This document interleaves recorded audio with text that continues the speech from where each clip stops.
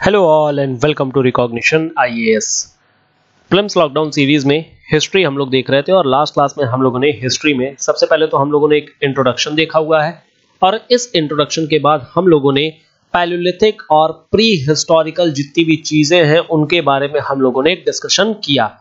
आज हम लोग देखने वाले हैं इंडस वैली सिविलाइजेशन के बारे में, जिसको कि हम हड़प्पन सिविलाइजेशन या फिर हिंदी में सिंधु घाटी सभ्यता भी बोलते हैं। तो फटाफट स्टार्ट करते हैं। कुछ नहीं करना है आपको, केवल कहानी के फॉर्मेट में सुनना है। एक मूवी चलने वाली है और उस मूवी में आपको पूरी इतिहास भी याद हो जाएगी। इस मूवी के बाद मतलब ये इस वीडियो लेक्चर डिस्कशन के बाद क्वेश्चंस भी मैं आप लोगों को दे दूँगा एक सीरीज़ के फॉर्मेट में। आप अपने क्वेश्चन को करके, देख करके समझ जाइएगा। कि आपका कितना अच्छा तैयारी हो गया है चलिए फिर फटाफट स्टार्ट करते हैं let us start let us complete and let us crack but before that these are our contact details and these are some of the available courses on YouTube. These are Plums Special, Mains Special and Test Series based on subscription. Indus Valley civilization के बारे में अगर बात किया जाए तो इसमें बहुत सारी चीज़ें होंगी जो मैं मतलब लिखी हुई होंगी यहाँ पर स्लाइड्स पे और कुछ मैं आपको एडिशनल भी बताते रहूँगा मीडियम हिंदी और इंग्लिश दोनों ही है, दोनों ही मैं बोलता रहूँगा। और हिंदी मीडियम के लिए, जैसा मैंने आप लोगों को बोला है, टेलीग्राम चैनल ज्वाइन कर लीजिएगा। वहाँ पर आपको हिंदी मीडियम के नोट्स भी अवेलेबल हो जाएँगे। थोड़ा मोड़ा लेट होता है बट ठीक है, आप लोग मुझे एक मैसेज कर दिया करिए, टेलीग्राम कर दिया करिए, और मैं फिर उसको फ़ोटो खींच करके दे दूँगा आपको। चलिए खैर।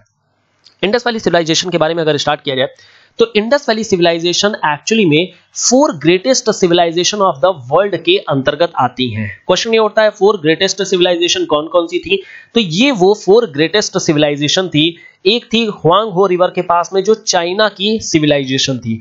यही चाइना की सिविलाइजेशन आगे जा करके जिंग डायनेस्टी में परिवर्तित हो जाती है जिंग डायनेस्टी बनाती है। इस जिंग डायनेस्टी के बारे में हम लोग और अच्छे से इंटरनेशनल रिलेशंस के टॉपिक में डिस्कस करेंगे। बात करेंगे इसमें किस तरीके से चाइना में कैसे यहाँ पर डेवलपमेंट हुआ है। दूसरी जो सिविलाइजेशन थी, वो मेसोपोटामिया की सभ्यता थी, जिसको कि हम लोग सुमेरिया की सभ्यता भी बोलते हैं। हिंदी में इसे सुमेरियन सभ्यता या सुमेरिया की सभ्यता भी कहा जाता है। ये टिग्रिस यूफ्रेटस रिवर के पास में थी, जिसको कि हिंदी में दजला फरात नदी बोलते हैं। दजला फरात नदी। क्लियर हो गया क्या चीज़ है? एक तीसरी सिविलाइजेशन थी जो नाइल रिवर के पास में थी और इसको इजिप्शियन कल्चर बोलते हैं। ये जो मेसोपोटामिया का कल्चर था, ये एक्चुअली स्प्रेड काफ़ी ज़्यादा स्प्रेड था। और इस सेक्टर में मतलब इस टाइम पे पीरियड पे बात करा जाए अगर तो केवल और केवल सुमेरिया की जो सभ्यता थी, यानी मेसोपोटामियन सिविलाइजेशन और जो हड़प्पन सिविलाइजेशन थी, ये काफ़ी ज़्यादा डेवलप्ड फॉर्मेट में आप बोल सकते हैं, बाकी दोनों के कंपैरिजन में। इनफैक्ट आप लोगों ने मूवी देखी होगी द ममी द ममी जो सिविलाइजेशन दिखाई गई है, वो मेसोपोटामियन सिविलाइजेशन, सुमेरियन सिविलाइजेशन ही दिखाया गया जो एक्चुअल में एक्सटेंड हो करके इजिप्शियन कल्चर तक पहुँच गई थी। और इसी के फॉर्मेट में यहाँ पर बहुत सारे पिरामिड्स वगैरह बनाए गए थे। तो मम्मी पिक्चर भी आप जा करके देख सकते हैं। इनफैक्ट हड़प्पन सिविलाइजेशन के लिए भी एक मूवी बॉलीवुड मूवी निकली हुई थी, जिसको मोहन जोदाड़ो मूवी शायद निकली हुई थी। जिसको कि आप लोग देख सकते हैं, यहाँ पर भी आप जा करके आ, मतलब हिस्ट्री को समझ सकते हैं। बहुत सारी मूवी में आप लोगों को बताता रहूँगा हिस्ट्री को समझने के लिए। या फिर मैं साथ ही साथ आप लोगों को थोड़ी सी मूवी का दर्शन इसी में करा दूँगा। चलिए फिर। तो ये थी बेसिकली वो फोर इंपॉर्टेंट सिविलाइजेशन जो उस समय की थी। It along the flood plain of Indus and Ghaghara Hakra now the next question comes here कि सारी की सारी क्यों? रिवर वैली के ही पास में सिविलाइजेशंस क्यों पनपी? देखिए रिवर के पास में हमें फ्लड प्लेन मिलता है। और इस फ्लड प्लेन के साथ साथ एग्रीकल्चर इंपॉर्टेंट एक्टिविटी हो जाती है। और हम लोगों ने लास्ट क्लास में देखा हुआ था कि जितने भी न्यू लिथिक कल्चर थी, वो न्यू लिथिक कल्चर एक्चुअल में परमानेंट सेटलमेंट केवल और केवल इसीलिए बन पाया क्योंकि वो एग्रीकल्चर करना शुरू कर दी थी, कृषि करना शुरू कर दी थी और कृषि के कारण से, एग्रीकल्चर के कारण से ही वो परमानेंट सेटल हो पाया। अदरवाइज़ वो नोमैड्स थे नोमैडिक हॉर्डरिंग घुमक्कड़ प्रजाति के रहते थे। और इस तरीके से वो घूमते रहते थे। अल्टीमेटली एग्रीकल्चर ही था जो इन लोगों को एक जगह पर बाँध करके रखा है। और ये हुआ क्यों? क्योंकि रिवर थी, और रिवर में आप लोगों को पता ही है ज्योग्राफी में आप लोगों ने पढ़ ही लिया है कि यहाँ पर अलग अलग तरीके की सॉइल लेकर के आता है, और सॉइल के कारण से एलुवियल सॉइल्स आती हैं, और ये एलुवियल सॉइल अल्टीमेटली एग्रीकल्चर को जन्म दे रही होती हैं। और इसी के बाद हम लोगों ने आगे देखा था कि कैलकोलिथिक एज आ जाती है, और यही कैलकोलिथिक एज में हड़प्पन सिविलाइजेशन है हमारा। क्लियर हो गया क्या चीज़ है? ये भी आपको आइडिया लग गया, क्यों सारी रिवर्स के पास में? इनफैक्ट अगर आप देखेंगे तो यहाँ पर देखिए नाइल रिवर है, फिर उसके बाद से टिग्रिस यूफ्रेटस रिवर है, यहाँ पर इंडस सरस्वती रिवर है, और यहाँ पर हुआंगहू रिवर है। तो सारी की सारी रिवर के ही नियर अबाउट में सिविलाइजेशन पनपी है। इसके आगे देखते हैं। तो इंडस वैली सिविलाइजेशन जो थी, वो स्प्रेड कर रखी थी हमारे साउथ एशिया के वेस्टर्न पार्ट में और ये इंडिया, पाकिस्तान, अफ़गानिस्तान तक के इलाके में ये फ्लॉरिश करके रखी हुई थी। इसकी जो एज है 2500 बीसी जैसे दिया हुआ है, हालाँकि इस एज को लेकर के कई सारे लोगों का बहुत सारा मत है। कौन कौन से मत हैं कौन कौन से इसमें विचार है कौन कौन से लोगों ने क्या क्या कहा है again it is very important अब देखिए, यहाँ पर हम लोग देखेंगे C4 कार्बन फोर डेटिंग के माध्यम से। कार्बन फोर डेटिंग की जाती है ताकि हम लोग एज डिसाइड कर सके।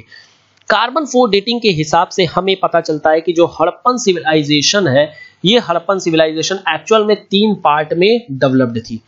एक थी जिसको हम लोग बोल सकते हैं कि दिस वाज अर्ली हड़प्पन या अर्ली हड़प्पन सिविलाइजेशन।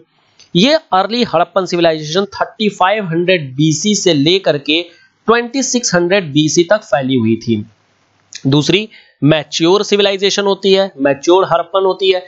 और ये जो मैच्योर सिविलाइजेशन होती है, वो 2600 बीसी से लेकर के 1900 बीसी तक ये बनी हुई थी। और उसके बाद से आ जाती है डेवलप्ड या फिर इसी को बोल सकते हैं हम लोग लेटर हड़प्पन्स ये जो लेटर हड़प्पन्स थे, ये 1900 बीसी से लेकर के 1300 बीसी तक ये डेवलप होते हैं। किसने बताया? कार्बन फोर डेटिंग ने ये बताया हुआ है। क्लियर हो गया क्या चीज़ है? अब देखिए, इसके अलावा हमारे बहुत सारे हिस्टोरियंस भी हैं जिन्होंने अलग अलग समय अलग अलग टाइम पीरियड बताया हुआ है इस सिविलाइजेशन का। जैसे कि इसमें एक है मार्टिनर व्हीलर। तो हमारे जो व्हीलर साहब हैं, ये लगातार आपकी हिस्ट्री में बने रहेंगे, इसलिए इनका नाम याद रखिएगा। तो जो व्हीलर साहब है, इनका कहना है, हटाओ भाई सब कुछ और एकदम नॉर्मल तरीके से इसको पढ़ लिया जाएगा कि 2500 2500 बीसी से लेकर के 1500 बीसी तक हम लोग इंडस वैली सिविलाइजेशन को मानेंगे। और यही हम लोग मानते भी हैं। लेकिन इसके अलावा भी कुछ और भी हिस्टोरियंस है जो बोलते हैं, जैसे कि हमारे एक दूसरे इंडियन है, जिनका नाम है डीपी अग्रवाल ये जो डीपी अग्रवाल साहब है, ये बोलते हैं कि नहीं नहीं 2350 बीसी से लेकर के 1350 इनफैक्ट 1750 बीसी तक ये फैला हुआ था। इसके बाद से जो सिविलाइजेशन आती है, वो वैदिक कल्चर आ जाता है, आर्यों का आक्रमण हो जाता है, इस कारण से चीज़ें हो जाती हैं। इसके अलावा हमारे एक और साहब हैं, जिनका नाम है मैके। मैके बोलते हैं कि देखिए, ये 2800 बीसी से लेकर के केवल और केवल 2500 बीसी तक ये फैली हुई थी, बाकी उसके बाद आर्यन का इन्वेजन हो गया था और ये सभ्यता, ये जो इंडस वैली सिविलाइजेशन है, वो खत्म हो गई थी। इसके बाद आती है दूसरी मार्शल। मार्शल साहब का कहना है कि सब कुछ बकवास है। ये एक्चुअल में फैला हुआ था 3250 बीसी से लेकर के 1750 बीसी तक। तो ये बेसिकली अलग अलग हिस्टोरियन का अलग अलग कहना है। लेकिन इसमें से सबसे ज़्यादा मोस्ट एक्सेप्टेड हमारे व्हीलर साहब का है। व्हीलर का नाम भी बहुत बार सुने इसलिए, और इनका याद रखना भी आसान है। तो सीधी सी बात है, इसको ही हम लोग मान के चलेंगे। This is the most accepted chronology most accepted time period for the Indus Valley civilization clear हो गया क्या चीज़ है यहाँ पर? एक और चीज़ यहाँ पर क्वेश्चन आती है, ये आप लोग नोट कर लीजिएगा। यहाँ पर एक और चीज़ आती है कि कौन कौन से ट्राइब्स थे हमारे इस इंडस वैली सिविलाइजेशन के दौरान में। सिविलाइजेशन में इनफैक्ट ट्राइब में, हालाँकि आप लोग मेंस में ये पढ़ते हैं मेंस का टॉपिक है यहाँ पर कि बहुत सारे ट्राइब्स होते हैं। जैसे कुछ कुछ का नाम मैं बता देता हूँ लाइक प्रोटो ऑस्ट्रेलॉइड एक ट्राइब होती है प्रोटो ऑस्ट्रेलॉइड इसी तरीके से एक और ट्राइब होती है जिसको बोलते हैं नेग्रिटो बोलते हैं। इसी तरीके से होती है जिसको मंगोलॉइड्स बोलते हैं। इसी तरीके से हम लोग बोलते हैं मेडिटेरेनियंस एक ट्राइब होती है। फिर होती है अल्पाइन ट्राइब होती है। तो इस तरीके की बहुत सारी ट्राइब्स होती हैं हमारे पास। यहाँ पर जो इंडस वैली सिविलाइजेशन है, यहाँ पर जो ट्राइब है, वो बेसिकली फोर टाइप की ट्राइब यहाँ पर पाई गई है। पाई क्या गई है? अनुमानित है एक्सपेक्टेड है। कौन कौन सी वो फोर है? एक है, जिसको हम लोग बोलते हैं प्रोटो ऑस्ट्रेलॉयड ये जो प्रोटो ऑस्ट्रेलॉयड है एक्चुअली ये आए हैं अफ्रीका से। दूसरे हैं मेडिटेरेनियन। दिस इज़ मेडिटेरेनियन ये जो मेडिटेरेनियन है, ये एक्चुअल में वेस्टर्न महाराष्ट्र के पास में फैले हुए हैं। और ऐसा माना जाता है कि ये अगेन मेडिटेरेनियन सी जो है, वहाँ से आए हुए हैं। तीसरा जो है, वो मंगोलॉयड पाया गया है। मंगोलॉयड छोटी छोटी आँखें होती हैं इस तरीके के ट्राइब की, और ये बेसिकली तिब्बतन रीजन में पाए जाते हैं। तो जितना जम्मू कश्मीर वाले रीजन में है, वो मंगोलॉयड रीजन के पाए जाते हैं। और लास्टली होती है अल्पाइन ट्राइब और ये अल्पाइन ट्राइब बेसिकली पाई गई है गंगा मैदान में, या फिर गंगा प्लेन्स पे आप बोल सकते हैं। तो ये वो फोर इंपॉर्टेंट ट्राइब्स हैं जो इंडस वैली सिविलाइजेशन के साथ में एसोसिएटेड है। क्लियर हो गया क्या चीज़ है? आगे बढ़ते हैं। आगे अगर देखेंगे इंडस वैली सिविलाइजेशन के बारे में, थोड़ी सी और हम लोग डिटेल्ड चर्चा कर लेते हैं। तो इंडस वैली सिविलाइजेशन का जो एस्टैब्लिशमेंट है, जैसा कि हम लोगों ने देखा कि 3250 बोला गया है हमारे मार्शल साहब के द्वारा और वही आगे भी कंटिन्यू हम लोग कर रहे हैं। हालाँकि मोस्ट एक्सेप्टेड 2500 बीसी से लेकर के 1700 बीसी के अंतर्गत में हम लोगों ने बोला हुआ है। It flourished between 2700 to 1900 BC जैसा कि हम लोगों ने अभी देखा हुआ है। Mature Indus Valley civilization it started decline around 1900 BC and disappeared around 1400 BC ठीक है? तो इस तरीके से जो तीन फ़ेज़ है early Indus Valley mature Indus Valley और लास्टली लेटर इंडस वैली ये आपको क्लियर हो गया? आगे देखते हैं। This is also called as Harappan civilization after the first city to be excavated Harappa इस हड़प्पा की खोज किसने की थी? क्या हुआ था? हम लोग अभी थोड़ी देर में डिस्कस करेंगे। फ़िलहाल अभी कहानी सुनते जाइए। Pre Harappan civilization has been found at Mehrgarh Pakistan तो देखिए, यहाँ पर कुछ इंपॉर्टेंट साइट्स भी होंगी। उसके बारे में हम लोग चर्चा करेंगे। तो हम लोग ये कह सकते हैं कि the first excavated site after this Harappa कौन सी है? मेहरगढ़ है, जो कि पाकिस्तान में है। इस मेहरगढ़ का हम लोगों ने एक और बार नाम लिया था जब हम लोग इससे पहले की डिस्कशन कर रहे थे और वहाँ पर हम लोगों ने पैलियोलिथिक एज में बात किया हुआ था कि वहाँ पर भी मेहरगढ़ था। वहाँ पर भी राणा घुंडई और मुगल घुंडई, बालाकोट, डाबरकोट याद आ रहा है कि नहीं आ रहा है? ये सारी चीज़ें हम लोगों ने पहले वाले डिस्कशन में भी कर रखा है। Which shows the first evidence of cotton cultivation अब देखिए कॉटन कल्टिवेशन क्या चीज़ है? हम लोगों ने अभी यहाँ पर देखिए मैप देखा हुआ है। इस मैप में हम लोगों ने वन सेकेंड यहाँ पर देखिए हम लोगों ने मैप देखा हुआ है। इस मैप में, इसको मैं क्लियर करता हूँ ताकि और अच्छे से दिखेगा। यहाँ पर एक्चुअल में क्या हुआ था कि ये जो इलाका था, ये पूरा का पूरा ब्लैक सॉइल का इलाका था। ये ब्लैक सॉइल का इलाका था क्योंकि जब ये गुजर रहा था, आपको पता ही है ज्योग्राफी में कि इंडिया जो होता है, वो अफ्रीका प्लेट से टूट करके इधर से गुजरा हुआ है। तो जब ये गुजर रहा था तो यहाँ पर जो है, वो वोल्केनिक इरप्शन हो गए थे। और इस वोल्केनिक इरप्शन के कारण से इस इलाके में ब्लैक सॉइल आ गई थी। और आपको पता है कि ब्लैक सॉइल में सीधी सी बात है कॉटन कल्टीवेशन काफ़ी ज़्यादा होता है। तो ये जो गुजरात मतलब कि पाकिस्तान का रीजन होने वाला है एंड द वेस्टर्न राजस्थान का इलाका होने वाला है, यहाँ से कॉटन काफ़ी ज़्यादा निकल के आएगा। गुजरात का ये जो सौराष्ट्र वाला पार्ट है, यहाँ से राइस कल्टीवेशन बहुत ज़्यादा होती है। तो राइस कल्टीवेशन यहाँ पर देखने को मिलेगा। और बाकी जो राजस्थान का पार्ट है, इस पार्ट में, इस राजस्थान पार्ट में आपको पता ही है कि यहाँ पर ऑयल सीड्स काफ़ी ज़्यादा होते हैं। तो हमें यहाँ पर ऑयल सीड्स ही देखने को मिलेगा, जैसे तिल हो गया या फिर सरसों हो गई, ठीक है? तो इस तरीके के जितने भी मस्टर्ड ऑयल्स वगैरह हो गई या डेट पाम वगैरह हो गया, वो हमें इसी इलाके में देखने को मिल जाएगा। तो again geography is very important to study the history ठीक है? तो इसलिए देखिए, हम लोगों ने ये सारा कुछ डिस्कशन हम लोगों ने ज्योग्राफी वाले लेक्चर में ही कर रखा है और उसको हम लोग यहाँ पर अप्लाई कर रहे हैं। तो हम लोगों ने ऑलरेडी देख लिया यहाँ पर सीन क्या चीज़ हो रही है। तो कॉटन कल्टीवेशन अब आपको कभी भूलेगा नहीं, क्यों होती है पाकिस्तान में, क्यों मिला पाकिस्तान से, ठीक है? हालाँकि क्लाइमेट चेंज हो रहा है क्लाइमेट चेंज के कारण से डिजर्टिफिकेशन फैल गया है और उस डिजर्टिफिकेशन के कारण से सहारा डेजर्ट से, सहारा कहाँ पे है? अफ्रीका में। अफ्रीका से फैलते हुए अरेबियन पेनिनसुला में फैला। अरेबियन पेनिनसुला से फैलते फैलते ये पाकिस्तान तक आ गया है। ईरान हुआ, फिर पाकिस्तान हुआ और ये इलाका डिजर्टिफाइड हो गया है। इसीलिए तो यूएनसीसीडी बनाया गया है United Nations Convention to Combat Desertification यही रीजन है। तो उस समय पाकिस्तान जो था, वो इस तरीके से डिजर्ट नहीं था, वो तो डिजर्टिफिकेशन हुआ है। और ये क्लाइमेट चेंज अगेन ठीक है? चलिए खैर, ये तो आप लोग समझ गए होंगे। नाउ द नेक्स्ट क्वेश्चन आता है, अब हम लोग जरा इस इंडस वैली सिविलाइजेशन का एक्सपेंशन देख लेते हैं कि कहाँ कहाँ पर ये फैला हुआ था। इसके एक्सपेंशन को देखेंगे तो फटाफट हम लोग एक काम करते हैं मैप ही देख लेते हैं। तो यहाँ पर देखिए, आपको एक मैप देखने को मिलेगा। This is basically Indus Valley civilization का मैप जिसको मैं हाईलाइटर ले लेता हूँ, जो इंपॉर्टेंट प्लेसेस है, वो मैं आपको बता दूँगा। जैसे देखिए, यहाँ पर एक बलूचिस्तान इलाका है। ये बलूचिस्तान इलाका काफ़ी इंपॉर्टेंट इलाका हुआ करता था। दूसरा इलाका था राजस्थान का इलाका। तो ये जो राजस्थान का पूरा इलाका है, ये इलाका काफ़ी इंपॉर्टेंट था। तीसरा, ये सौराष्ट्र का रीजन काफ़ी इंपॉर्टेंट था और चौथा रीजन जम्मू कश्मीर का इलाका था। इसमें भी अगर देखेंगे, हम लोग कुछ इंपॉर्टेंट जोन्स हैं। जैसे जोन का मतलब हो गया, देखिए, यहाँ पर मांडा आपको दिखेगा। इनफैक्ट यहाँ पर बना नहीं हुआ है, कोई बात नहीं, हम लोग इसको लिख देते हैं। तो यहाँ पर मांडा इलाका होता था and this is the northern most territory of Indus Valley civilization तो ये नॉर्दर्न मोस्ट टेरिटरी थी। किसके पास में थी? यहाँ पर देखिए, चंबल रिवर होगी, बना है कि नहीं बना है? ओके नहीं बना है, कोई बात नहीं। ये चंबल रिवर के पास में ये इलाका हुआ करता था और ये नदन मोस्ट टेरिटरी है। इसी तरीके से अगर हम लोग वेस्टर्न मोस्ट टेरिटरी देखें तो यहाँ पर सुर सुतकागेन डोर ये इलाका आया करता था। तो देखिए, अगेन यहाँ पर शायद बना नहीं हुआ है। सुतकागेन डोर, ये बना हुआ है, देखिए, यहाँ पर है सुतकागेन डोर, और ये वेस्टर्न मोस्ट इलाका था, ठीक है? यहाँ पर रिवर जो थी, उसका नाम था दाइक रिवर तो this was basically Daik river ये दाइक रिवर के किनारे पर था। तो आप देख सकते हैं, आज की डेट में पूरा डेजर्ट इलाका है, लेकिन उस समय दाइक रिवर बह रही होती थी, ठीक है?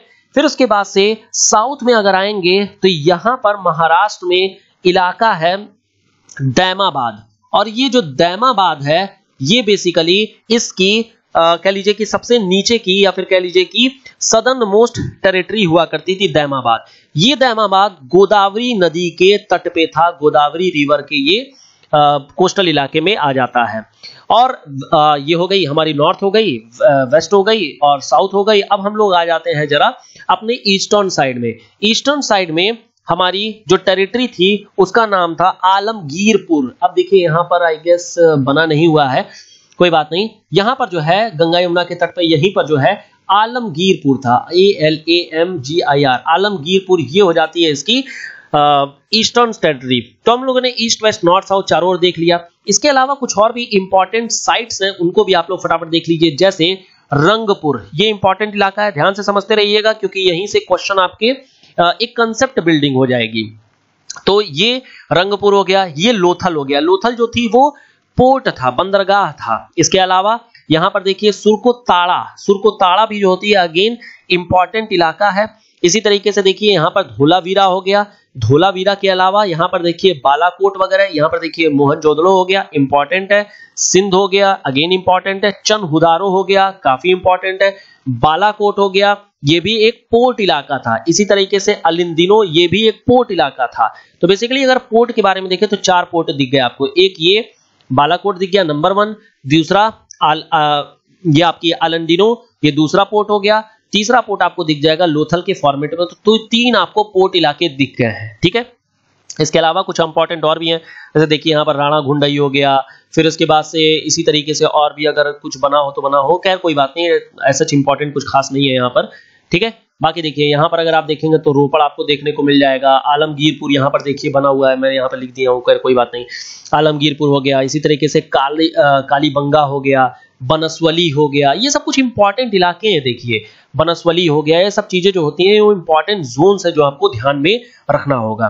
तो आपको आई गेस एक मैप का आइडिया लग गया होगा कि कौन कौन से इलाके हैं। बेसिकली यहाँ पर एक जोन अगर मैं बताऊँ तो यहाँ पर एक लाइन जा रही है and that is Indus river ये जो इंडस रिवर है, ये बेसिकली इंडस रिवर के अगर राइट साइड में आप देखेंगे तो यहाँ पर मोहनजोदड़ो देखने को मिलेगा और यहाँ पर जो हड़प्पा वगैरह देखने को मिल जाएगा। वही इसके लेफ़्ट साइड में देखेंगे तो कालीबंगा हो गया बनस्पली हो गया, चनहुदाड़ो हो गया। यहाँ पर देखिए चनहुदाड़ो आई गेस लिखा होगा कहीं। खैर नहीं लिखा है, कोई बात नहीं। चनहुदाड़ो एक और इलाका आ जाता है। यहाँ देखिए, चनहुदाड़ो लिखा हुआ है। देन धोलावीरा वगैरह। हो गया तो कई बार क्वेश्चन ये पूछ दिया जाता है कि which was the line which is actually dividing the two regions तो आप बोल देंगे सिंधु घाटी, सिंधु नदी, यानी कि इंडस रिवर थी, जो इस तरीके से अलग अलग कर रही थी। क्लियर हो गया क्या चीज़ है? ओके नाउ वापस कमिंग बैक टू आवर आ जाते हैं यहाँ पर। तो हड़प्पन, ये हम लोगों ने देख लिया था मेहरगढ़ के बारे में। Geographically the civilization was covered Punjab, Sindh, Balochistan, Rajasthan, Gujarat western Uttar Pradesh.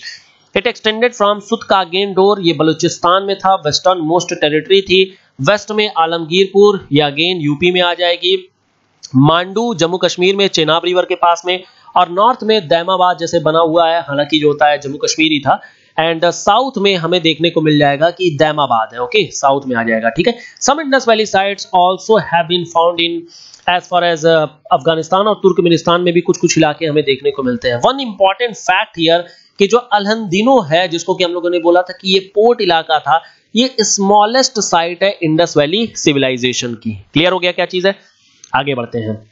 ये हम लोगों ने साइट्स देखी ली हैं। आगे बढ़ते हैं। अब हम लोग जरा इसकी कुछ प्रॉपर्टीज़ के बारे में डिस्कस करते हैं। प्रॉपर्टीज़ से पहले अगेन मैं आपको थोड़े से यहाँ पर फिर से एक कह लीजिए कि फैक्ट के बारे में अगर बता दूँगा जाए तो फैक्ट के बारे में अगर बात करेंगे तो थोड़ी सी आपको एक आइडिया दे देता हूँ हड़प्पन सिविलाइजेशन और मेसोपोटामिया सिविलाइजेशन के बीच में डिफरेंस को लेकर के। तो देखिए, अगर इस टाउन प्लानिंग के पहले अगर हम लोग बात किया जाए, ये देखिए सब स्लाइड्स में नहीं लिखा हुआ है, इसलिए मैं आपको अलग से बता देता हूँ। मान लेते हैं कि ये हमारी जो है, वो मेसोपोटामियन है। This is Mesopotamian Mesopotamian civilization और यहाँ पर हमारी हड़प्पन सिविलाइजेशन है। Suppose this is Harappan civilization अगर बात करेंगे इनके आ, अगर बात करते हैं इनकी किस तरीके से लिखा जाता था वॉट वर द स्कल्पचर या फिर कह लीजिए कि राइटिंग किस तरीके से हुआ करती थी तो राइटिंग होने के लिए यहाँ पर कीलाक्षर टाइप का था। कीलाक्षर ठीक है? और यहाँ पर क्या थी? एक्सप्रेशन टाइप की हुआ करती थी। तो एक्सप्रेशन वाली यहाँ पर लैंग्वेज हुआ करती थी। पिक्टोग्राफिक बोलते हैं इसको। एक्सप्रेशन वाले को बोलते हैं पिक्टोग्राफिक ठीक है? भाव चित्रात्मक बोलते हैं इसको। तो पिक्टोग्राफिक यहाँ पर हुआ करता था। अगर इसके अर्बन मैनेजमेंट के बारे में बात करें अर्बन प्लानिंग के बारे में अगर बात किया जाए तो ये लेस डेवलप्ड थी, लेकिन ये हाईली डेवलप्ड थी। जो हड़प्पन सिविलाइजेशन है। अगर बात करें इसमें ब्रिक की तो आपको पता ही है कि अब तक जो है वो फायर आग की खोज हो चुकी थी, लेकिन फिर भी मेसोपोटामिया वाले रॉ ब्रिक का इस्तेमाल करते थे। मतलब कच्ची ईटों का, जबकि ये क्या है? बर्ंट ब्रिक का इस्तेमाल करते थे मतलब जला करके, पका करके, पकी हुई ईटों को लगाते थे। रिलीजियस प्लेसेस के बारे में अगर बात किया जाए तो देखिए मेसोपोटामियन में बिल्कुल रिलीजियस प्लेसेस जो है वो मिले हैं, पाए गए हैं बट यहाँ पर कोई भी ऐसा प्रूफ नहीं मिला है कि हम लोग बोले हरप्पन सिविलाइजेशन में मंदिर वगैरह मिलते थे या फिर कोई भी रिलीजियस प्लेस वगैरह मिलते थे, ऐसा कुछ भी नहीं था। अगर सील्स के बारे में बात किया जाए सील मतलब कि जो मुहर वगैरह लगाई जाती है। मुहर का मतलब हो गया जैसे सील होता है ना कि मान लीजिए कि कोई ट्रेन भेजना है तो वहाँ पर आप सील मार देते हैं। जैसे ट्रेन वगैरह में आप लोगों ने देखा होगा कि जितने भी फ्रेट ट्रेन होती हैं, वहाँ पर सील लगी होती है। सील को बताना होता है और फिर अल्टीमेटली आप अपना जो भी वैगन है उसको ओपन कर सकते हैं। तो यहाँ पर सील जो होती थी वो सिलेंड्रिकल हुआ करती थी। कहाँ पर? मेसोपोटामिया में। और जो हड़प्पन में होती थी वो स्क्वायर शेप की हुआ करती थी और साथ ही साथ में रेक्टेंगुलर हुआ करती थी। ये सब के सब एक्सकवेशन से आर्कियोलॉजिकल साइट से मिला हुआ है। क्लियर हो गया? तो ये चीज़ आप लोग नोट कर लीजिएगा। आगे अगर हम लोग बढ़ा जाए और देखते हैं कि अब कुछ इंपॉर्टेंट सिविलाइजेशन के बारे में थोड़ा सा और बात कर लेते हैं। मतलब हड़प्पन सिविलाइजेशन के अंदर में ही बहुत सारी कल्चर्स एक्चुअली डेवलप्ड थे। अगेन ये आपके स्लाइड में नहीं है, इसलिए ध्यान में रखिएगा। स्लाइड में। तो यहाँ पर देखिए, हमारे पास जो इलाका था, वो था बलूचिस्तान का इलाका। इस बलूचिस्तान के अलावा राजस्थान का इलाका था। इस राजस्थान के अलावा चनहुदाड़ो का इलाका था चनहुदाड़ो का इलाका। सिमिलरली एक और इलाका था जो हड़प्पन का था, हड़प्पन का इलाका था। हड़प्पन में तो सीधी सी बात है, यहाँ पर हड़प्पन ही कल्चर होगी तो यहाँ पर हड़प्पन कल्चर हो जाएगी। चनहुदाड़ो में जो कल्चर हुआ करती थी, उसको बोलते हैं झुका झुकर झुका झुकर। दिस इज़ झुका झुकर कल्चर। हालाँकि अभी इसका नाम भी आएगा आगे। जब हम लोग डिस्कस करेंगे, राजस्थान में सोथी कल्चर है। यहाँ पर सोथी कल्चर हुआ करती थी और जबकि बलूचिस्तान में कुल्ली नाल कल्चर हुआ करती थी। दिस इज़ कुल्ली नाल कल्चर ठीक है? कुल्ली नाल कल्चर कैसे याद रखेंगे इसको? देखिए, बलूचिस्तान हमारा इलाका जो आता है पीओके में आता है। यानी बलूचिस्तान हमसे कट्टी हो गया है। कई बार हम लोग बचपन में बोलते थे ना, कट्टी हो गया। तो कट्टी मतलब कुल्ली हो गया है। बात खत्म। राजस्थान में सोधी हर्रे बहुत मिलता है। होता है ना, कुछ आयुर्वेदिक चीज़ें, सोधी हर्र इस तरह से करके बोला जाता है इसको। तो सोधी हर्र से सोधी याद हो गया। चन उदाड़ो झुका झुकर। अब ये झुका झुकर क्या होता है? अभी आगे मैं बताऊँगा, यहाँ पर एक्चुअली ब्यूटी पार्लर था तो वहाँ से आपको याद हो जाएगा। हड़प्पन में आपको याद करने की ज़रूरत ही नहीं है। This is actually Harappan. खत्म हो गया काम। याद हो गया? आगे बढ़ते हैं। चलिए। अब हम लोग जरा इसके लोकेशन से अच्छा अगेन थोड़े से और फैक्ट के बारे में बात कर लेते हैं। कुछ और भी फैक्ट्स हैं जो आपको ध्यान में रखनी है। जैसे जोग्राफिकल लोकेशन के बेसिस पे कई बार आप लोगों से पूछ देता है कि कौन सी साइट सबसे बड़ी है। तो सबसे बड़ी जो साइट है, उसका नाम है मोहन जोदाड़ो। मोहन जोदाड़ो, ठीक है? मोहन जोदड़ो। दूसरे नंबर की जो है, वो हड़प्पा होती है। हड़प्पन सिविलाइजेशन मतलब हड़प्पा हो गई। तीसरी जो साइट है, वो है राखी गढ़ही। राखी गढ़ही। और जो चौथी साइट है, उसका नाम है धौला वीरा धौला वीरा ठीक है? This is Dholavira actually now किस तरह से याद रखें इसको? देखिए, महाराधा। बस, काम खत्म, याद हो गया आपको। महाराधा, महा मतलब हो गया मोहनजोदड़ो हा से हो गया हड़प्पा, रा से हो गया राखी गढ़ी और धा से हो गया धौलावीरा। काम खत्म, याद हो गया? This is based on the area area के बेसिस पे ये बेसिकली जो होता है, वो बढ़ते मतलब घटते क्रम में है, इस तरीके से लगा हुआ है। क्लियर हो गया? नाउ आगे बढ़ते हैं। और जरा आगे और देखते हैं टाउन प्लानिंग को लेकर के अब जरा देखना शुरू करते हैं। फैक्ट हमारे खत्म हो गए हैं। अब हम लोग जरा आगे डिस्कशन करना शुरू करते हैं। थोड़ी सी वीडियो लंबी होगी, लेकिन हम लोग सारा हड़प्पन सिविलाइजेशन इसी वीडियो में कवर करेंगे, ताकि आपको कहीं और कुछ भी देखने की ज़रूरत ना पड़े। और मेन चीज़ ये है यार मूवी तो कंप्लीट होनी ज़रूरी है ना? अब ऐसा तो है नहीं, आधी मूवी छोड़ करके आप भाग जाएँगे, राम गोपाल वर्मा की आग वो रखी है। No you have to complete this movie ठीक है? क्यों? क्योंकि आपकी ज़िंदगी इसी पे टिकी हुई है हिस्ट्री पढ़ना पड़ेगा। बिना इसके यूपीएससी नहीं क्लियर होने वाला है। चलिए खैर, आ जाते हैं जरा हम लोग टाउन प्लानिंग एंड स्ट्रक्चर्स को लेकर के। तो सिटी जो थी वो बेसिकली दो पार्ट में डिवाइडेड थी। उस दो पार्ट में एक जगह पे रेज्ड प्लेटफॉर्म था और जिसको हम लोग अपर सिटाडेल बोलते थे और दूसरी तरफ़ जो होता है वो लोअर सिटाडेल थी। इसका मतलब क्या चीज़ है? मतलब ये है कि यहाँ पर मान लेते हैं कि सपोज़ कोई एक सिटी है। अब सिटी मतलब कि हड़प्पन सिविलाइजेशन कोई सिटी नहीं है। हड़प्पन सिविलाइजेशन के अंदर में बहुत सारी सिटी है। जैसे हड़प्पा एक सिटी थी, मोहनजोदड़ो एक सिटी थी, बनावली एक सिटी थी, चनहुदाड़ो एक सिटी थी, सुरकोताड़ा एक सिटी थी, सुतकागेंडोर एक सिटी थी, लोथल एक सिटी थी, डाबर एक सिटी थी, राजकोट सिटी थी। तो इस तरीके से बहुत सारी सिटी है क्लियर इन सिटी में डिवाइडेड फॉर्मेट में था। एक डिवाइडेड था जो एक हाइट पे था। मतलब कि यहाँ के लोग हाइट पे रहते थे और बाकी लोग नीचे ज़मीन पे रहते थे। अब ये ज़मीन और ये काम कब अंतर आप करेंगे? जब आदमी के अंदर जो होता है, वो एक डिफरेंस करना होगा, तभी ना आप अंतर करेंगे। यहाँ पर एक्चुअली हाई फाई लोग रहते थे हाई फाई लोग, और यहाँ पर लोअर क्लास के लोग रहते थे। तो यही बेसिकली एक डिफरेंस है यहाँ पर, कि यहाँ पर हायर क्लास और लोअर क्लास का एक डिफरेंस था। ये डिफरेंस बेसिकली इकोनॉमिक साइड से था। यहाँ पर कोई सामाजिक स्थिति, कोई वर्ल्ड व्यवस्था वर्ल्ड सिस्टम नहीं है कि ब्राह्मण, क्षत्रिय, वैश्य, शूद्र वाला सिस्टम है नहीं। यहाँ पर जो है बेसिकली पूरा का पूरा इकोनॉमिक स्टेटस के बेसिस पे था। और ये इकोनॉमिक स्टेटस इसको दो पार्ट में डिवाइड करके रखा था। वन वॉज़ जो हाई क्लास के लोग थे, जो अपर सिटाडेल पे रहते थे और लोअर क्लास के लोग होते थे, जो लोअर सिटाडेल के बेसिस पे रहते थे। अब देखिए होता क्या था? हायर वाले क्लास वाले लोग क्या करेंगे? लोअर वालों को आने से यहाँ पर रोकेंगे तो रोकने के लिए क्या करते थे? फोर्टिफिकेशन कर देते थे। फोर्टिफिकेशन मतलब किला बंदी कर देते थे, ये किला बंदी अब ये किले बंदी जो होती है, हमें अलग अलग तरीके से देखने को मिली है। कई जगहों पे किलाबंदी हमें सिंगल फोर्टिफिकेशन देखने को मिला है। कई जगहों पे हमें सेपरेट फोर्टिफिकेशन देखने को मिला है। और कई जगहों पे हमें नो फोर्टिफिकेशन देखने को मिला हुआ है। अब देखिए, इन सारे लोगों के बारे में कायदे से तो हमारे पास केवल और केवल फैक्ट है बट हम लोग एक एक स्टोरी बना करके याद करेंगे ताकि और अच्छे से कंसेप्ट भी क्लियर होगा, याद भी हो जाएगा और आपको लंबे समय तक याद रहे। लेकिन फ़िलहाल अभी सिटाडेल के बारे में आप लोगों को क्लैरिटी हो गई है। फोर्टिफिकेशन की ज़रूरत क्यों है? ये क्लैरिटी हो गई है। आगे देखते हैं। तो यहाँ पर बेसिकली जो हाउसेज और रोड्स थे, वो बेसिकली ग्रिड सिस्टम थे। ग्रिड सिस्टम क्या होता है? ग्रिड सिस्टम होता है ये। मान लेते हैं कि ये जो है वो अलग अलग रोड है। ये सिंगल रोड है, ये रोड है, देखिए छोटी छोटी रोड जा रही है, ठीक है? ये रोड है। और इस रोड को बेसिकली ये कट कर रहा है। आज की डेट में देखिए गवर्नमेंट ऑफ़ इंडिया भी यही फॉलो कर रही होती है जब भी अर्बन प्लानिंग करना होता है। इस तरीके के फॉर्मेट को हम लोग बोलते हैं sector model this is actually sector model कई बार आप लोगों ने सुना होगा, जितने दिल्ली वाले लोग होंगे, उनको पता होगा, Dwarka sector nine Dwarka sector eight Dwarka sector seven Dwarka sector thirty two ठीक है तो इस तरीके से सेक्टर्स बने हुए हैं। सिमिलरली ग्रेटर नोएडा में भी सेक्टर्स बने हुए हैं। नोएडा में भी सेक्टर बने हुए हैं। बने कि नहीं बने हैं? तो इस तरीके से बेसिकली सेक्टोरल मॉडल था, जहाँ पर ये जो रोड्स है, ये सब रोड है, ये एक दूसरे को 90 डिग्री पे कट करते थे। एक तो ये चीज़। दूसरी चीज़, जो रोड बने होते थे, जो हाउसेस वगैरह बने होते थे, वो हाउस मान लेते हैं कि ये हाउस है, ये मान लेते हैं कि हाउस है। अब इस हाउस की एक कनेक्टिविटी तो मेन रोड से है और एक पीछे जो है वो गली से कनेक्टिविटी मेंटेन है। अब देखिए, रोड पे अगर आप दरवाज़ा बना देंगे, सीधी सी बात है, पूरा का पूरा पॉल्यूशन आपके घर में चला जाएगा।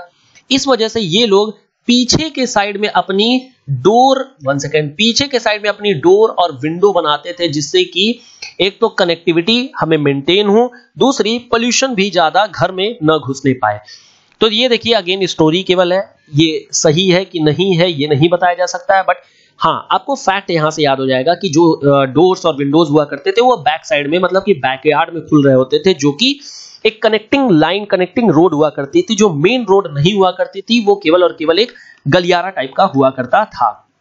बॉन्ड ब्रिज यूज़ यूज़ किया करते थे, ठीक है? और ये जो होती है रिमार्केबल फीचर्स है, हड़प्पन की। हालाँकि, एक जगह पर अनबॉन्ड ब्रिक भी यूज़ किया गया यानी रॉ ब्रिक भी यूज़ की गई है। कौन सी जगह है?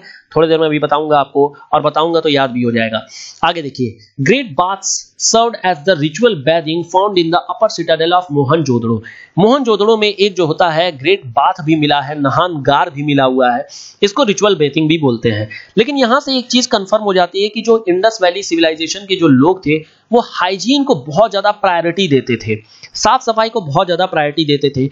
साथ ही साथ बहुत सारे डस्टबिन भी मिले हुए हैं मोहनजोदड़ो में और इनफैक्ट हर एक रोड पे मिले हैं। यानी कि ये लोग जो है सैनिटेशन को और जो साफ़ सफ़ाई उसको काफ़ी ज़्यादा ध्यान में रखते थे। ग्रैंडरी भी एक मिली हुई है, बहुत बड़ा सा अन्नगार इसको बोलते हैं।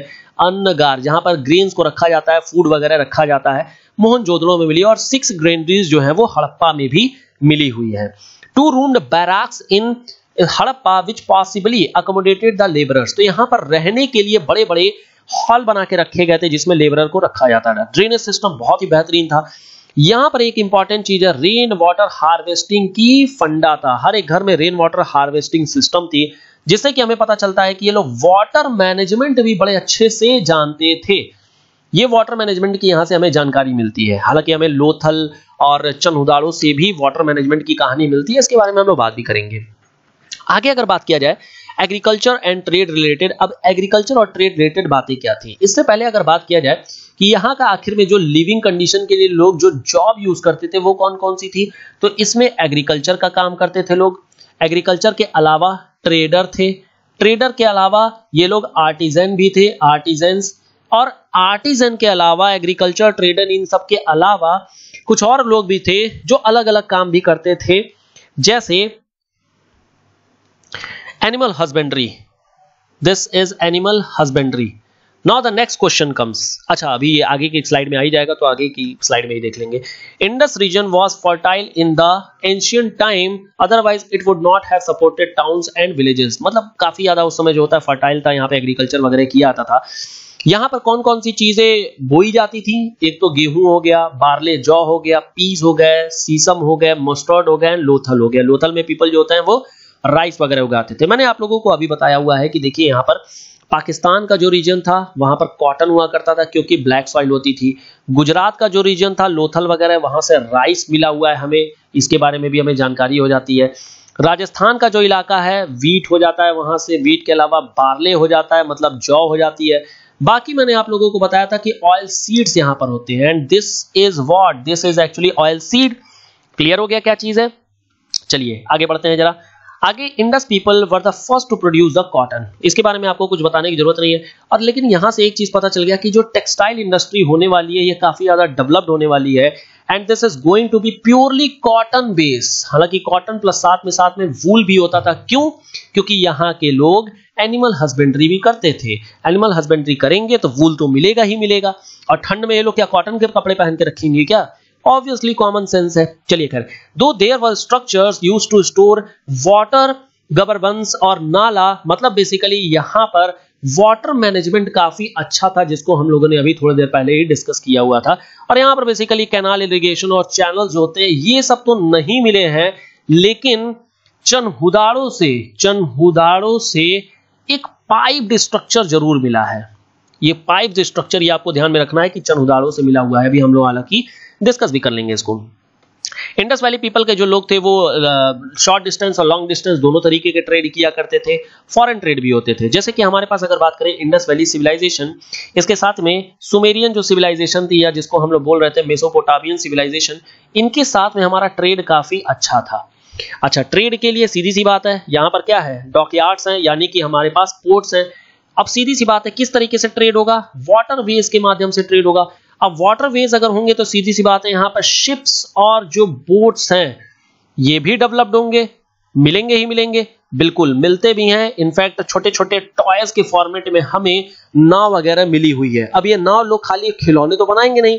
ऑब्वियसली इसका पिक्टोरल फॉर्मेट होगा, इसकी प्रैक्टिस में होगी, तभी ये लोग खिलौने भी बनाते होंगे। अगर इनके पास कंसेप्ट होगा तो ऑब्वियसली उसका इंप्लीमेंटेशन भी ये लोग कर रहे होंगे। यानी कि टॉयज के फॉर्मेट में अगर शिप्स और बोट्स मिली हैं तो ऑब्वियसली ये लोग ट्रेड के लिए वाटर व्हील्स का इस्तेमाल करते ही होंगे। तो they used boats as well as the bullock carts for transportation और इन दोनों का हमें एक प्रोटोटाइप जो है, वो खिलौने के माध्यम से टॉयज के माध्यम से हमें मिला हुआ है। अलग अलग जगहों पे मिला है, इसके बारे में अभी हम लोग देखेंगे कहाँ कहाँ से क्या क्या मिला हुआ है। इसके अलावा जो होती है, कोई भी मेटालिक करेंसी नहीं हुआ यूज़ हुआ करती थी। बार्टर सिस्टम केवल और केवल एक्सचेंज के लिए यूज़ होता था, लेकिन सील का इस्तेमाल हुआ करता था। और सील भी अगेन जैसे मैंने आप लोगों को बताया कि स्क्वायर शेप और रेक्टेंगुलर शेप दो तरीके के हुआ करते थे और इस पर जो सील है उस पर कोई ना कोई फ़ोटो तो बनी ही होगी।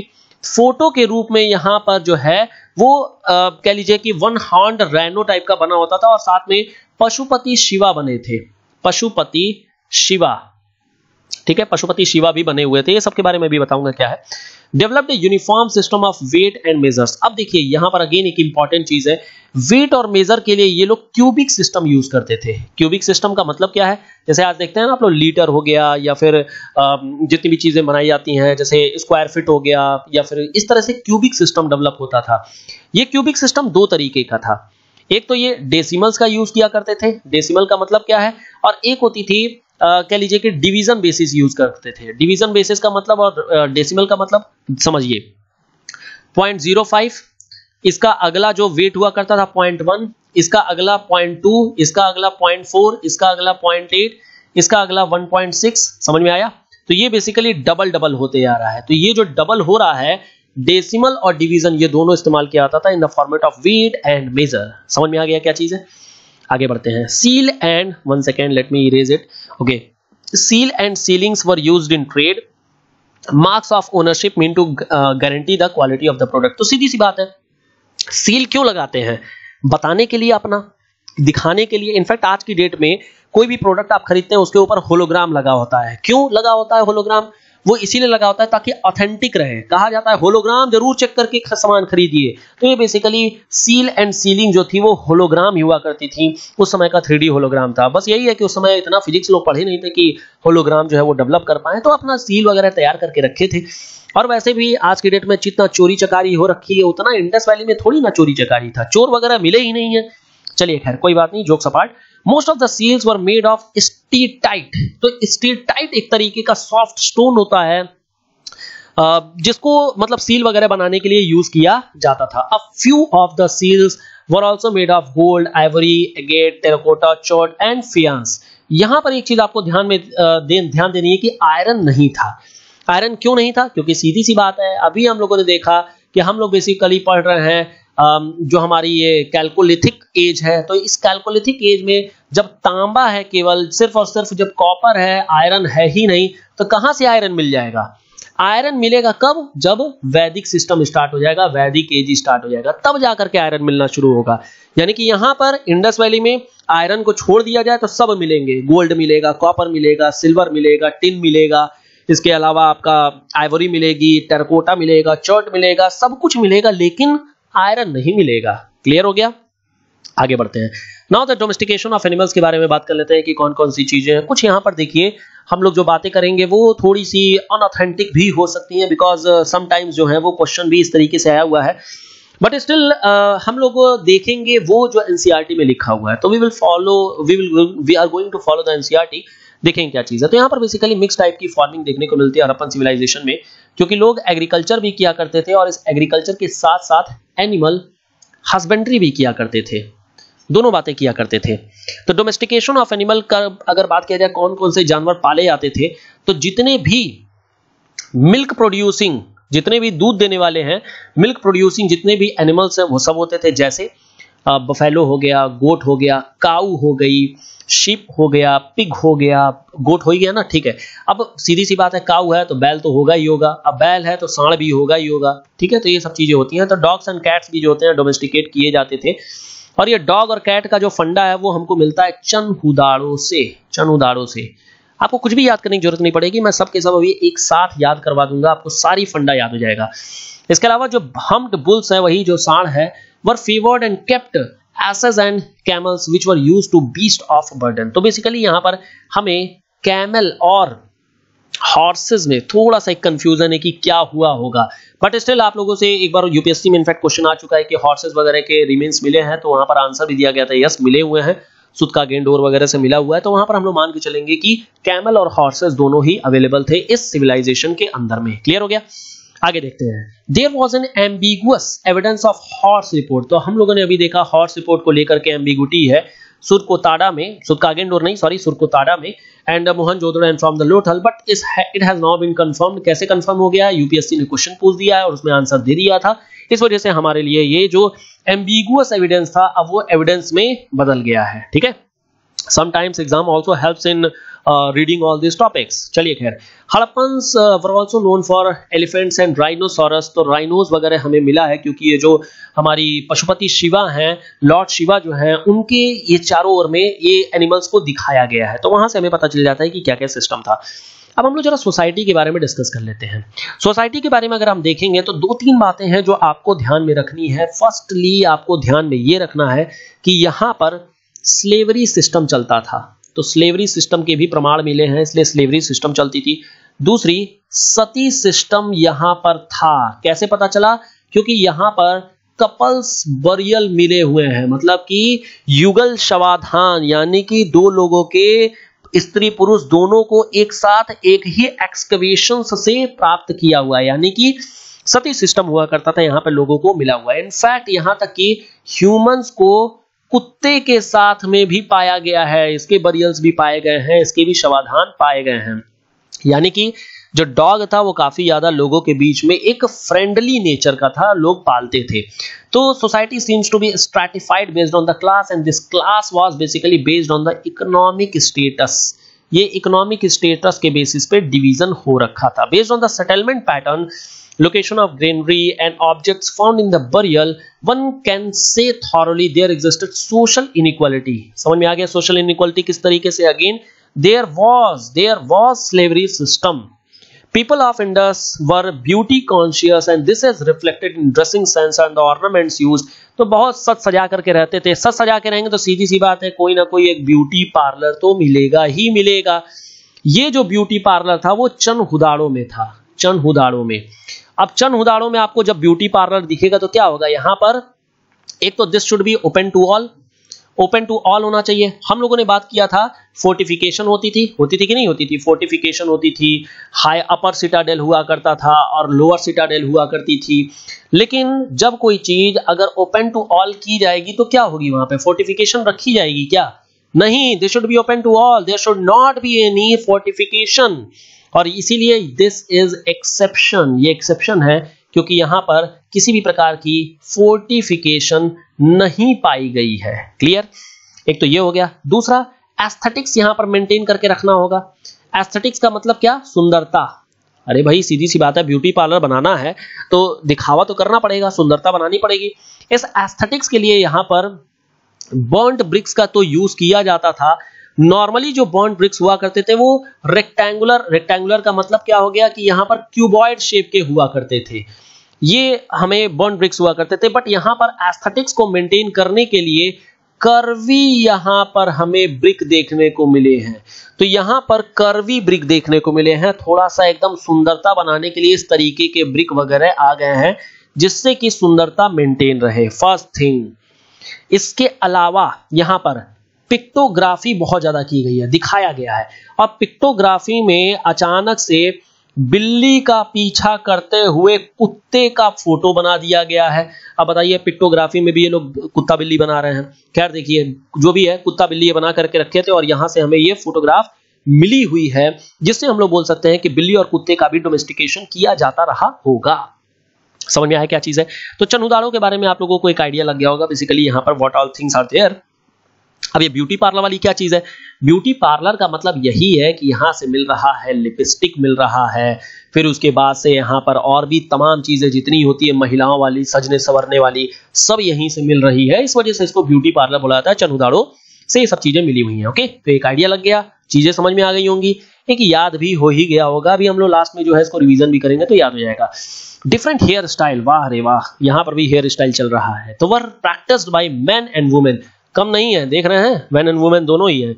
Ornamentation made up precious and semi precious stones used by the men and women सीधी सी बात है, जितने हायर क्लास के लोग होंगे, दिखावा करने के लिए ऑर्नामेंटेशन यूज़ करते ही होंगे। उसके बाद ऑर्नामेंटेशन में भी देखिए आइवरी है, हाथी दांत है गोल्ड है तो ये गोल्ड वगैरह क्यों करेंगे लोग? दिखाने के लिए करेंगे, सीधी सी बात है। अपनी प्रॉस्पेरिटी दिखाने के लिए करेंगे ही करेंगे। Merchant and priest were important class of this period तो मर्चेंट और प्रीस्ट क्योंकि ट्रेडर्स हैं, सीधी सी बात है ट्रेडर्स होंगे तो वो अच्छे खासे इकोनॉमिक स्टेटस रखेंगे ही रखेंगे। हायर क्लास में आ जाएँगे, सीधी सी बात है। दो देर में worship of mother goddess mother goddess की मतलब की मातृ मतलब जो मदर प्रायोरिटी बेसिस पे यहाँ पर चीज़ें होती थी। लेकिन यहाँ पर कहीं पर भी मेट्रियार्कल सोसाइटी का बहुत ज़्यादा क्लैरिटी नहीं दिखता। ऑल दो मदर गॉडेस की पूजा ज़रूर की जाती है। इनफैक्ट सेक्स ऑर्गन्स की पूजा हमें देखने को मिली हुई है। यूनि पूजा देखने को मिली हुई है।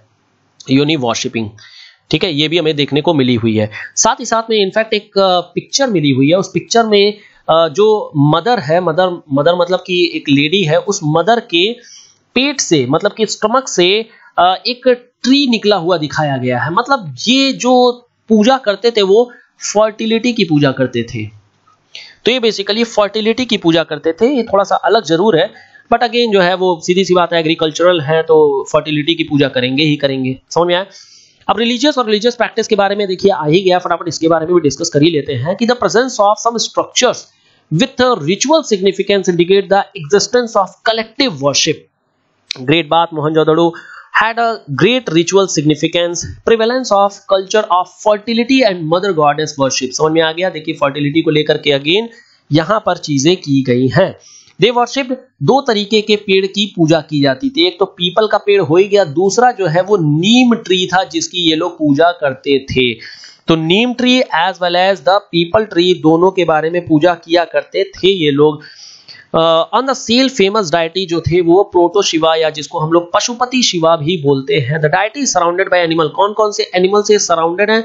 बकरी से हैं, हाथी से हैं टाइगर से हैं एंड एंटेलप से हैं।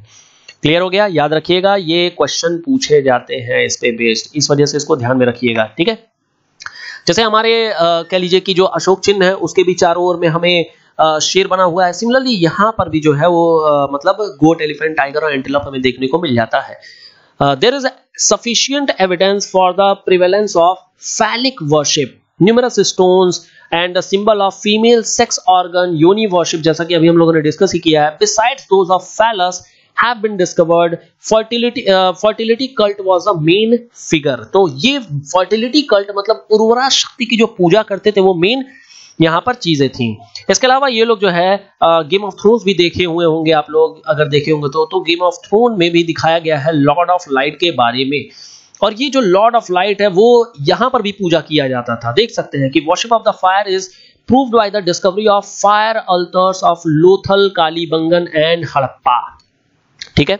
They believe in the ghost and evil forces सीधी सी बात है, अगर लाइट की पूजा कर रहे हैं, अग्नि की पूजा कर रहे हैं तो सीधी सी बात है घोस्ट एंड एविल प्रैक्टिसेस में भी ये लोग उतना ही विश्वास रखते होंगे। Disposal of the dead was the important religious activity यहाँ पर तीन तरीके का बेसिकली डिस्पोज करते थे डेड बॉडी को। One was the partial partial burial आधा अधूरा, दूसरा होता था जो कंप्लीट बरियल होते थे। कंप्लीट बरियल का मतलब पूरी तरीके से ज़मीन के अंदर में गाड़ देते थे। और तीसरा होता था जो बेसिकली यहाँ पर जो मतलब जला देने वाला जो फंडा होता है, वो बेसिकली यहाँ पर की जा रही होती थी। तो third thing was that dead bodies को जनरली जो होता है नॉर्थ साउथ डायरेक्शन में प्लेस किया करते थे and near by the dead body ornament and other objects को भी बरी करते थे। यानी कि ये लोग रीबर्थ में विश्वास करते थे। क्योंकि इनके सारे सामान को भी साथ साथ में रख दिया जा रहा है। इनफैक्ट कुत्ता तक को रख दिया गया था कि अगले जन्म में जब पैदा होंगे तो फिर उसका कुत्ता बन करके आएगा। तो इस तरीके से जो होता है बॉन्डिंग थी लोगों के बीच में। तो इस वजह से रीबर्थ में बेसिकली ये लोग विश्वास करते थे। हड़प्पन स्क्रिप्ट के बारे में अगर बात किया जाए तो देखिए, हड़प्पन स्क्रिप्ट जो थी वो अभी डेसिफर नहीं की गई है, इसलिए हम इसको प्री हिस्ट्री में रखते हैं। इनफैक्ट प्री हिस्ट्री नहीं प्रोटो हिस्ट्री में रखेंगे इसको। प्रोटो हिस्ट्री में, और अगर ये डेसिफर कर ली जाएगी तो हम लोग इसको हिस्ट्री में डाल देंगे। तो ये हम लोगों ने लास्ट क्लास में डिस्कस किया हुआ था।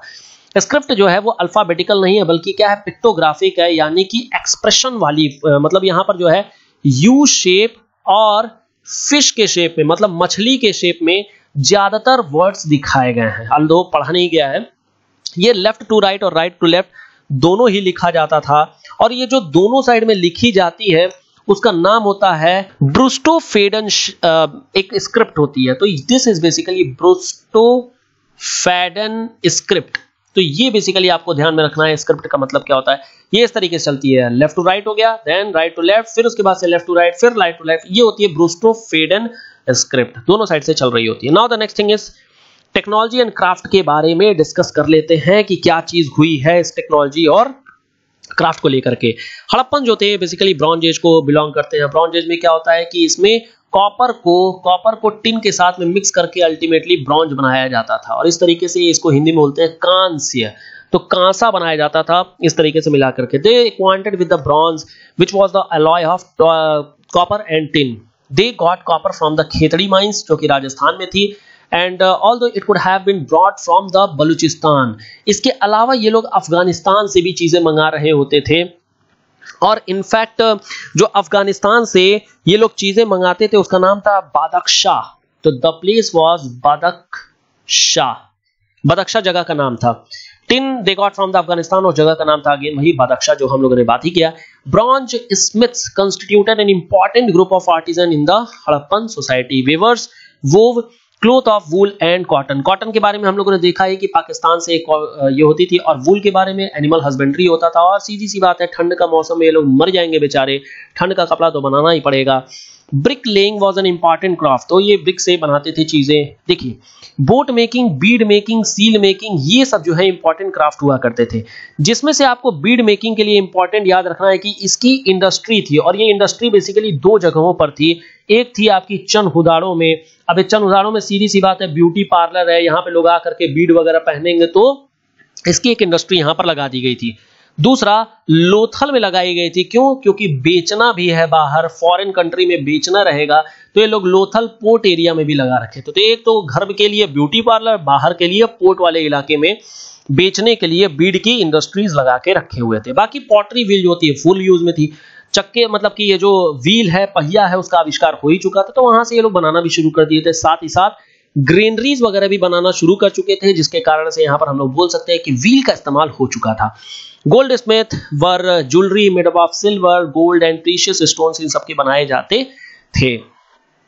तो ये हम लोगों ने पूरा का पूरा डिस्कशन किया। हम लोगों ने अपने पूरे सिस्टम के बारे में, जहाँ पर हम लोगों ने slavery system matriarchal society sati system food habit अच्छा फ़ूड हैबिट के बारे में समझ लीजिए कि वेज और नॉन वेज दोनों खाते थे ये सब। तो पता नहीं कैसे थे, दोनों खाते थे, अब क्या खाते थे, पता नहीं। तो लाइफ के बारे में हम लोगों ने बात कर लिया ट्रेड के बारे में हम लोगों ने बात कर ही लिया है। फिर हम लोगों ने इंपोर्ट एक्सपोर्ट के बारे में भी देख लिया है नाउ एनिमल्स के बारे में हम लोगों ने देख लिया। फिर उसके बाद से टेक्सटाइल के बारे में बात कर ही लिया है, फिर स्केल्स के बारे में देख लिया हम लोगों ने, और बाकी सिस्टम भी देख लिया। अच्छा ये लोग चेस खेलते थे, ये भी ध्यान रखिएगा, ठीक है? अब हम लोग जरा देख लेते हैं कुछ इंपॉर्टेंट साइट्स के बारे में because this is very important for you to memorise all this क्योंकि ये इससे रिलेटेड एक मैच द फॉलोइंग भी आपको एग्ज़ाम में पूछा जा सकता है, इसलिए ध्यान में रखना है। चलिए खैर, आगे बढ़ते हैं जरा। और देखते हैं कौन कौन सी चीज़ें हैं। चलिए खैर फ़ोन आ जाता है बार बार देखिए साइट्स में अगर बात करेंगे तो यहाँ पर हमारे एक साइट है एंड द साइट इज़ यहाँ पर देखिए मिसिंग है, ये एक्चुअली हड़प्पा है दिस इज़ हड़प्पा। यहाँ पे गलती से मिसप्रिंट हो गया है। हड़प्पा है, हड़प्पा के लिए जो एक्सकेवेटर थे, उनका नाम था दयाराम साइनी। तो आप याद रखिएगा हड़प्पा में दया की जाती थी। तो याद हो जाएगा आपको दयाराम साइनी।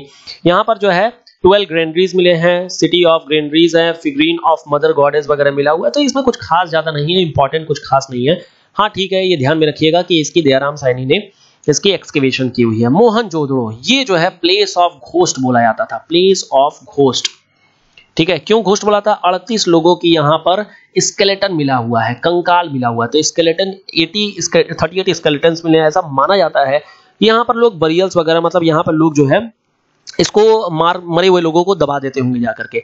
अच्छा एक चीज़ इंपॉर्टेंट है, हड़प्पन सिविलाइजेशन में जितने फॉरेनर्स आते थे, अगर वो बेचारे फॉरेनर अगर मर जाते थे, किसी वजह से इनकी डेथ हो जाती थी तो इनको ये लोग ले जाकर के हड़प्पा में इनका जो भी अंतिम संस्कार होता था, वो कर देते थे। लेकिन जो घर वाले मतलब इंडस वैली के लोग हुआ करते थे, उसके लिए मोहन जोदड़ो जगह हुआ करती थी। दोनों समझ में आ गया?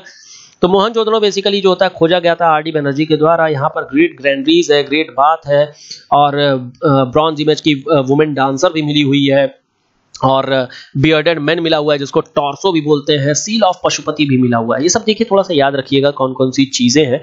यहाँ पर याद रखने के लिए देखिए एक तरीके से ये बोल सकते हैं लाइक अगर मान लीजिए किसी की डेथ हो जाती है तो डेथ के लिए आपको नहाना पड़ता है तो उसके लिए देखिए ग्रेट बात हो गया।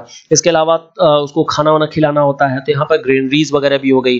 फिर उसके बाद से यहाँ पर ब्रॉन्ज इमेज की महिला डांसर भी रखी गई है, और एक पुजारी पुरोहित जो होते हैं ना पूजा वूजा कराने वाले तो उनके लिए बियर्डेड मैन भी रखा गया है दिस इज़ एक्चुअली पुरोहित।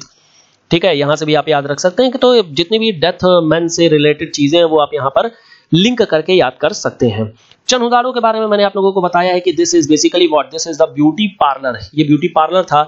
इसकी मजूमदार ने खोज की थी। तो आप ये आ सकते हैं कि यहाँ पर मजनू मजनू जो है वो जाता है चनुदारों में ब्यूटी पार्लर में जाता है वहाँ पर देखने दाखने आ, मतलब जाता है। यहाँ पर जो है क्या क्या चीज़ें मिली है? सिटी विथ नो सिटाडेल मतलब फोर्टिफिकेशन नहीं मिली है because the area was open to all this was open to all area इसलिए no citadel no brick only stones और वो भी कर्वी शेप में मिली है। कर्वी शेप में क्योंकि again aesthetics terracotta model of bullock cart यहाँ पर देखने को मिल जाता है, ठीक है? काली बंगा में जब आप आएँगे तो याद रखिएगा, ये जो है वो रूरल एरिया था। ये इलाका रूरल एरिया था और यहाँ पर बेसिकली एग्रीकल्चर हुआ करती थी। एग्रीकल्चर होगी तो सीधी सी बात है यहाँ के जो लोग हैं वो रिलेटिवली लेस प्रॉस्परस होंगे मतलब गरीब टाइप के लोग होंगे यहाँ पर। इसकी जो खोज की गई है, वो घोष साहब के द्वारा की गई है। और इसमें अब यहाँ पर देखिए, अब इतना सब चीज़ें याद कर लिया आपने, इतना समझ लिया? अब यहाँ पर देखिए।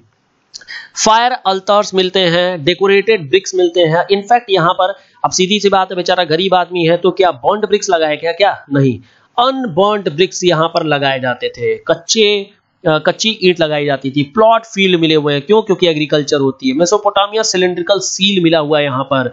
इसके अलावा ये लोग बेचारे मतलब गरीब थे तो यहाँ पर जो होता है बरियल्स भी देखने को मिले ये लोग यहीं पर इनको बरी कर दिया जाता था। यहीं पर लोगों को जो भी अंतिम संस्कार करना होता था, कर दिया जाता था। क्योंकि ये लोग मोहनजोदड़ो जाने के लिए अगेन एक्स्ट्रा खर्चा वगैरह पड़ जाएगा।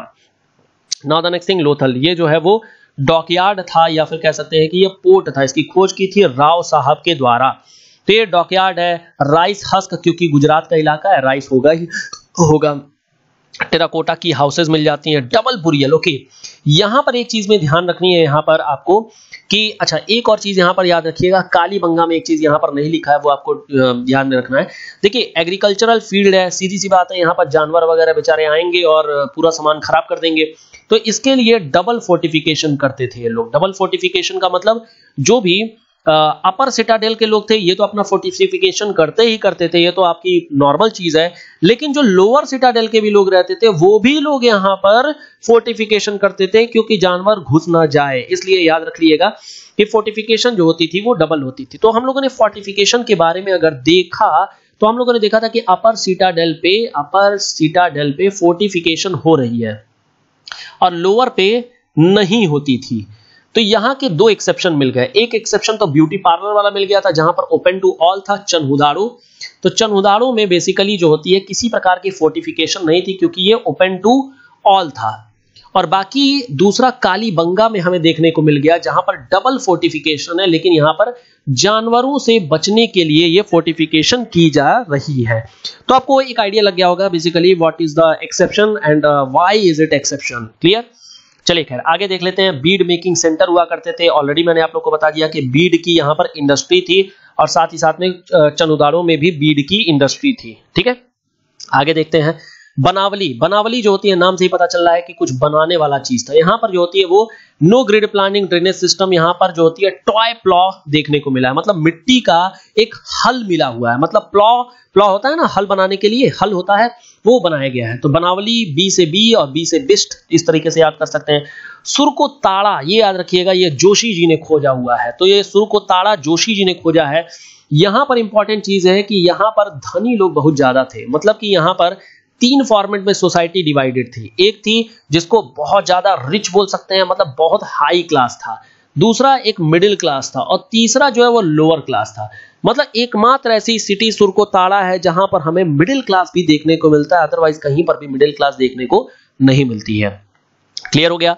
तो याद रखिएगा सुर को ताड़ा जो जोशी जी थे, जोशी जी जो होते हैं, धनी थे और धनी के कारण से यहाँ पर समाज जो है वो तीन पार्ट में डिवाइडेड था।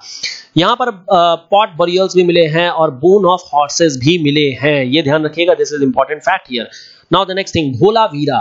Dholavira जो है वो अगेन बिस्ट जी ने ही खोजा है। ये एक स्टेडियम था, ये ध्यान रखिएगा। धोलावीरा जो होती है, जो आज की डेट में पाकिस्तान साइड पड़ती है, यहाँ पर जो होता है स्टेडियम था लॉन्गेस्ट इंस्क्रिप्शन पाई गई है। This is important fact here ये याद रखिएगा, धोलावीरा से बहुत बड़ी इंस्क्रिप्शन है। मतलब तीस फिट बड़ी इंस्क्रिप्शन है। मतलब अच्छा खासा, इतना बड़ा तीस फिट का एक जो है इंस्क्रिप्शन मिला है। और इस इंस्क्रिप्शन पे कुछ चीज़ें लिखी हुई हैं, जो हम लोग डेसिफर पढ़ नहीं पाए हैं। इसके अलावा वाटर मैनेजमेंट सिस्टम में मिल जाता है यूनिक फीचर्स मिल जाते हैं। सिटी जो है वो तीन पार्ट में डिवाइड मिलती है। फिर है दैमाबाद दैमाबाद कहाँ पर है? वेस्टर्न महाराष्ट्र देखा था हम लोगों ने ना सदर्न मोस्ट बाउंड्री है ये।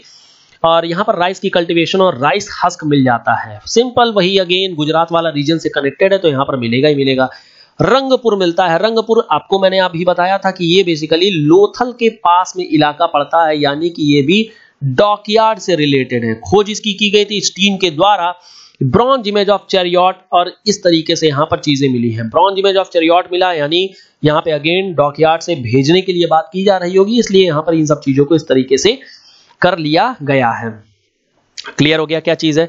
तो इस तरीके से हम लोगों ने पूरा का पूरा सिस्टम देखा हमारे इस इंडस वैली सिविलाइजेशन का। इसके डिक्लाइन के लिए कुछ भी क्लियर तो नहीं है बट स्टिल कुछ लोगों ने कुछ कुछ बातें कही है, उनके बारे में देख लेते हैं। जैसे हमारे एक साहब हैं, जिनका नाम है व्हीलर साहब। व्हीलर साहब बोलते हैं व्हीलर साहब और, देखिए व्हीलर हो गए और साथ में गार्डन चाइल्ड हो गए। तो मैं केवल और केवल चाइल्ड लिख रहा हूँ, याद रखने के लिए। इन्होंने कहा कि, देखिए आर्यंस ने इन्वेड कर दिया था, जिसके कारण से इंडस वैली सिविलाइजेशन खत्म हो गया। तो बेसिकली व्हीलर क्या है? समय का पहिया घूमता है और अगले शासक आते हैं, तोड़ करके इंडस वैली को खत्म कर देते हैं। तो इस वजह से जो होता है इंडस वैली सिविलाइजेशन की जो अंत हुआ था, वो आर्यन ने किया था व्हीलर साहब याद हो गया?